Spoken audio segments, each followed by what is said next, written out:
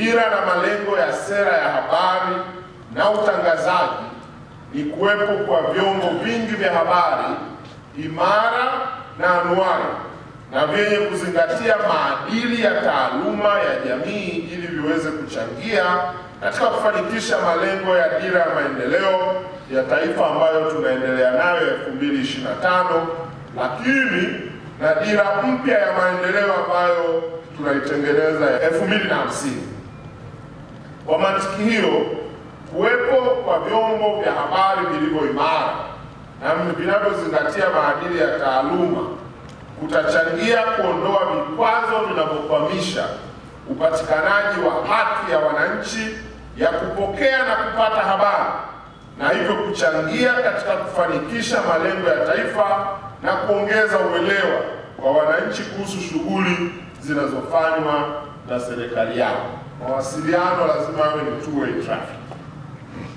Wakati sisi tunapeleka taarifa, tutafute namna, na leo inawezekana sana kwa kutumia teknolojia, sisi pia tukawa sikio la taasisi zetu kuwasikiliza wananchi wanasemaje, na yale maoni yao tutafute namna ambayo yatakuwa na na na nguvu ya kuzifanya taasisi zetu zishughulikie.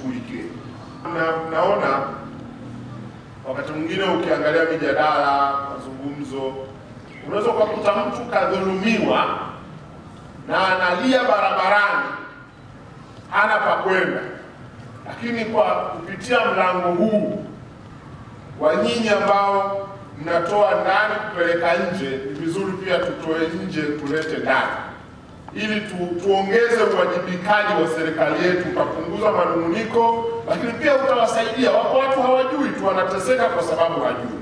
Sote tunafahamu kuwa wanahabari mna jukumu kubwa katika kuhamasisha na kushawishi wananchi katika juhudi zao za kuleta mabadiliko ya kimaendeleo katika maisha yao ya kila siku na kubeba falsafa na maono ya viongozi wetu wa kitaifa kama mlivyoamua, kwa mfano falsafa ya hizi R4 kwa maana ya reconciliation ambayo ni maridhiano au upatanisho, resilience, ustahimilivu, reforms, mageuzi na rebuilding, ambao kwa kweli ni kujenga upya taifa letu iliyoasisiwa na Rais wa Jamhuri ya Muungano wa Tanzania Dr. Samia Suluhu Hassan yenye lengo la kuimarisha amani na mshikamano wa taifa letu. Lakini hili jambo haliwezi kuwa ni jambo la rais peke yake. Hili lazima liwe ni jambo la Watanzania. Ilipoasisiwa hii falsafa, ikawa na naogopa mimi na CCM, ningetamani iwe mali ya CCM, Hii nasema hii falsafa ni kubwa kuliko CCM, tuipeleke ichukuliwe na kila mtu kwenye vyama vya siasa wakiapply hizi 4Rs kwenye jamii yetu, kwenye taasisi zetu, kwenye taasisi zisizokuwa za kiserikali, kwenye maisha, kwenye familia. Hili jambo linaweza kuleta mabadiliko makubwa sana kwenye nchi yetu. Tunaweza kuendelea kuliunganisha taifa letu kwa kutumia taaluma yetu. Nimekuja kuwaomba mtambue thamani ya kile mlicho nacho mikononi mwenu. Mkikitumia vizuri, we will be proud of our country. Na nimekuja kuwaomba sana tutumie vizuri, tusukume ajenda zitakazoenda kulijenga taifa letu, zitakazotupa kesho yetu njema, na uamuzi wa kuchagua falsafa ya Mama Samia ni uamuzi wa busara. Rais Samia alisema naruhusu mikutano ya vyama vya siasa.